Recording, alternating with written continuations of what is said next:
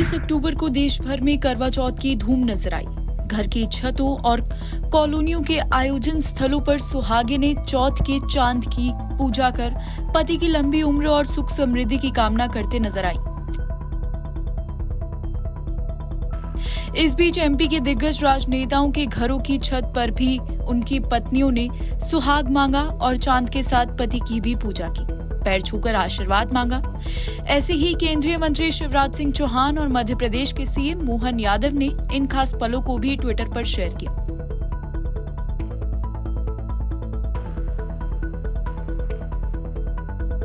मुख्यमंत्री डॉक्टर यादव ने अपने निज निवास में धर्मपत्नी सीमा यादव के साथ करवा चौथ का पर्व मनाया। उनकी पत्नी ने चंद्रोदय के बाद चंद्रमा को अर्घ देकर पूजा की और पति डॉक्टर मोहन यादव के दर्शन कर आशीर्वाद प्राप्त किया। मुख्यमंत्री ने पत्नी को जल ग्रहण करवा कर व्रत खुलवाया। इसके पहले पति पत्नी ने विधि विधान से निवास पर करवा माता की पूजा भी की। करवा माता की कथा का वाचन हुआ। करवा चौथ का व्रत पति की लंबी उम्र और कृष्ण रहित पूर्ण आयु की प्रति के लिए रखा जाता है। इसके साथ ही केंद्रीय कृषि मंत्री शिवराज सिंह चौहान की पत्नी साधना सिंह ने अपने पति की लंबी आयु और स्वास्थ्य की कामना के लिए करवा चौथ का व्रत रखा। शिवराज सिंह ने भोपाल स्थित अपने निवास पर अखंड सौभाग्य के इस पावन पर्व पर अपनी जीवन संगिनी के साथ पूजा अर्चना की और जल ग्रहण करवाकर उनका व्रत पूर्ण कराया। उन्होंने कहा कि करवा माँ की कृपा से सभी माताओं बहनों के जीवन में शुभत्व और मंगल की पवित्र ज्योत सदैव प्रज्वलित रहे, यही प्रार्थना करता हूँ। केंद्रीय मंत्री शिवराज सिंह चौहान ने आगे कहा कि अपने देश की संस्कृति अद्भुत है और हमारे यहाँ नारी देवी का ही रूप है। अपने पति की दीर्घायु के लिए हमारे देश में ये व्रत किया जाता है। मेरी धर्मपत्नी ने भी बिना अन्न जल ग्रहण किए मन में तकलीफ़ भी होती है कि सुबह से लेकर अब तक पानी की एक बूंद नहीं पी। जब मैंने पानी पिलाया, चंद्रमा को अर्घ देने के बाद तब एक घूट पानी पिया।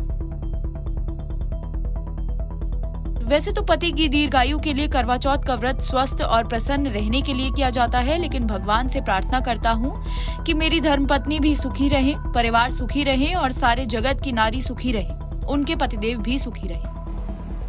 नारी देवी का ही रूप है।